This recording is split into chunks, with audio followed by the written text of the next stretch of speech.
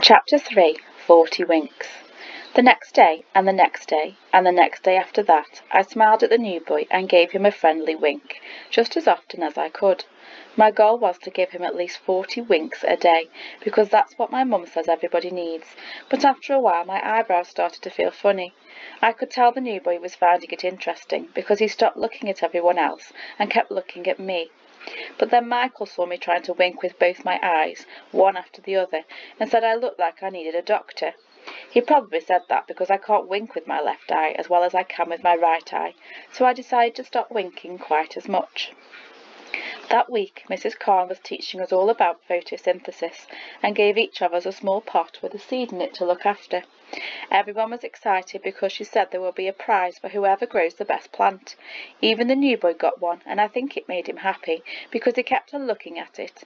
I tried to whisper lots of cheerful words like rainbow and popcorn and marshmallows to mine because I read somewhere that if you tell plants about happy things, it makes them grow quicker. I'd never won a prize before, not even at the fairground. I thought if I tried really hard and kept talking to my plant, I might win this time. And if I couldn't win, then I wanted the new boy to, because he really seemed to like that plant.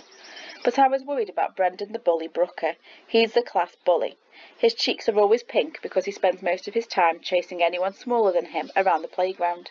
He's not very clever and hates anyone that is. If anyone gets a top mark in class or a prize, he'll try and beat them up at home time. I saw him looking at Ahmet's plant and narrowing his eyes, just like he always does when he's thinking of something mean to do. I didn't like it one bit. His most common trick is to trip you up with his foot. He also likes to tip up your lunch tray as he walks by so that your food dribbles down your chest like runny eggs. He's done that to me many times. Sometimes he gets caught, but most of the time he doesn't. And even when he does get caught, he doesn't get detention. Most of the teachers seem to like him, though. Maybe it's because when he smiles, he looks like one of those boys that sing in a church choir on television. Mr. Thompson used to call him a rascal, which must be a good word, because he gave Brendan the bully a wink and a pat on the back whenever he said it, and that let him run off again.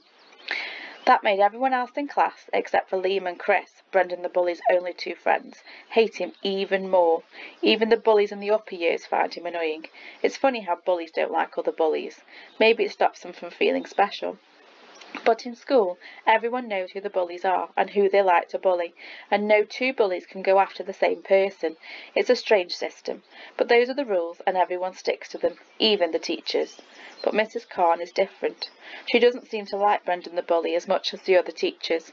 She's always watching him, and ever since we were put in her class, he's been careful not to do anything around her. I'm still going to keep an eye on him, though. Soon after the new boy joined our class, lots of rumours about him began to be passed around the playground like an invisible game of pass the parcel.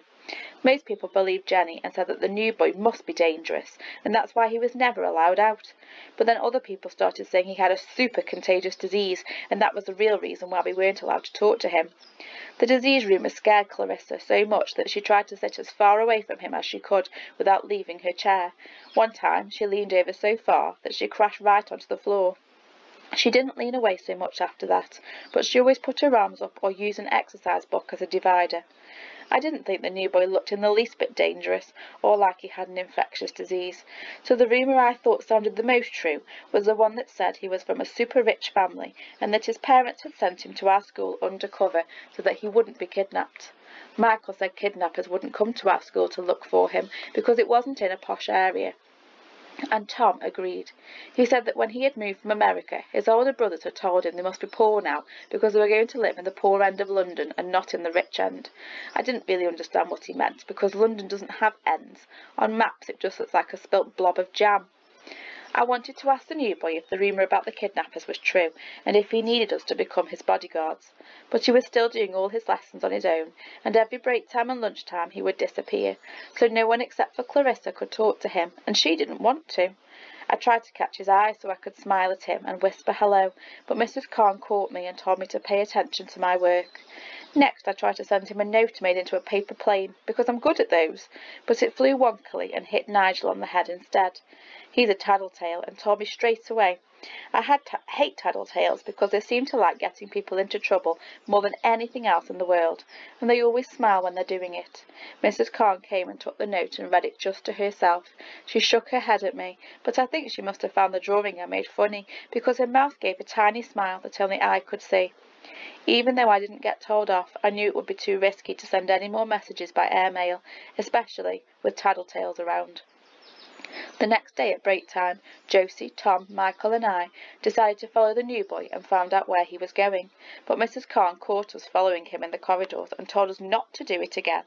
She didn't seem angry, but she did say that the new boy needed to be in seclusion for a little while longer and that it was for his own good, so we promised not to follow him any more. What does seclusion mean? asked Josie when we went back out onto the playground. None of us knew exactly, not even Michael, although he said it sounded as if the new boy needed to have a private treatment, like a really sick person in a hospital.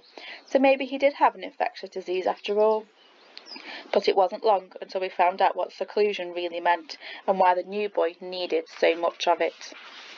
Chapter 4 What Mr. Brown and Mrs. Grimsby Said my dad used to say that if you really, really want something, you have to keep on trying for it. And since I always used to say that he had everything he could ever want, I guessed he must have known all about trying for things. I knew that I wanted to be friends with Ahmet. I didn't really know why. I just did. I gave up on trying to speak to him during the day because of all the seclusion he needed, but I figured after school was okay because Mrs. Khan had smiled at me and winked that first time. So every day for two whole weeks I waited by the school gates at home time. As soon as the new boy and Mrs. Khan came out to meet the woman in the red scarf, I would run over and give the new boy a lemon sherbet, and sometimes a whole chocolate bar. But no matter how many sweets I gave him, or how many Mrs. Khan encouraged me to talk to him, the new boy never said a word. And he never, ever smiled back. Not even when I gave him a whole packet of white mice, which are my favourite. He just quietly took the sweets, and staring at the floor, went and stood behind the woman in the red scarf, as if he needed to hide from me. Maybe he doesn't like sweets, said Michael, on the Friday of the second week. Don't be silly, said Josie, chewing on her hair. Everyone likes sweets. Maybe he's allergic, said Tom. I've never heard of anyone being allergic to chocolate and sweets before, but then again, I was allergic to dogs when no one else was, so maybe he was right. After that I decided to give the new boy my lunch fruit instead of my sweets. He was still going to his seclusion every lunchtime, so on the Monday of the third week of trying to be his friend, I took the biggest orange I could find from the school canteen and waited by the gates. I was extra excited because I had drawn a smiley face on the skin, and Tom had given me a sticker of a dinosaur to stick on it, so that was the two things that made the orange extra special. Tom loves collecting stickers. He has books and books of them at home, and whenever he gets a new one he likes, he always brings it in to show us. I've never seen him give a stick away to someone he doesn't know very well, so I hope the new boy would like it. I know how special it was. But as we were waiting for the new boy to come out, we heard something about him that we didn't understand at all. In fact, it was even more confusing than learning about the seclusion he was being given. There were lots of grown-ups standing behind us at the gates. There always are at home time. Sometimes they talk about the news or what they're making for tea, but mostly they talk about the weather. I don't know why, because there's nothing more boring than talking about something everyone else can see for themselves, but I guess that's what you're meant to do when you become a grown-up. Usually we don't listen because we have more interesting things to talk about, like what we're do- going to watch as soon as we get home and who our favourite Olympic athlete or footballer is. But this afternoon, just after someone had said how sunny it was and wasn't it lovely and how they hoped it would be sunny again tomorrow, someone else said, have you heard about the new refugee kid that's joined the school? He's been put in Mrs. Khan's class. They can't find an assistant that speaks his language. Poor little blighter. Josie and Michael and Tom all looked over at me, and I looked back at them, and then we stood very still together. I knew we were all thinking the exact same thing, because our faces frowned at the exact same time. We were wondering what a refugee kid was doing in our class. Then the lady who had talked about the sun said, It'll cause trouble, you mark my words, they're only coming over to take our jobs. Carefully, so that no one else would see us, we all looked over our shoulder and saw that it was Mr. Brown and Mrs. Grimsby who were talking. Mr. Brown shrugged and then said, If he's from that awful war on the news, I feel sorry for the kid. Can't blame him for wanting to get out of that death trap. Humph, said Mrs. Grimsby. A bother, the whole lot of 'em. Wouldn't trust one as far as I could throw 'em. Just you wait and see. It's our kids who will suffer, just because these ones are coming over to do what they like. I could tell that Mr. Brown didn't like what she was saying because he frowned and shook his head and then took a step to the side. I like Mr. Brown. He's Charlie's dad. Charlie is one of the boys in upper school. Everyone knows who he is because he always steals at least three puddings from the pudding tray every lunchtime, so there's never ever enough to go around. He's almost famous for setting off the fire alarm to get out of a science test. He's always getting into trouble, but I don't think Mr. Brown knows about that because whenever he cries out, Charlie, my old boy, what have you been up to today? And Charlie says, Nothing. Mr. Brown beams at him. Charlie tells everyone that his dad is a boxer, but I don't think that can be true. He has a long beard, and if I was a boxer fighting him, I'd just pull his beard all the time and win.